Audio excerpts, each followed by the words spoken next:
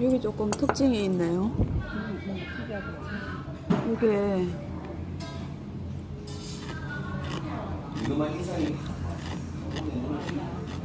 이게 짜지도 않고 맛있네요.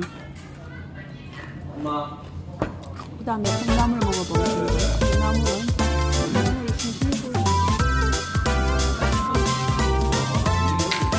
넣어보고 있어요. 물을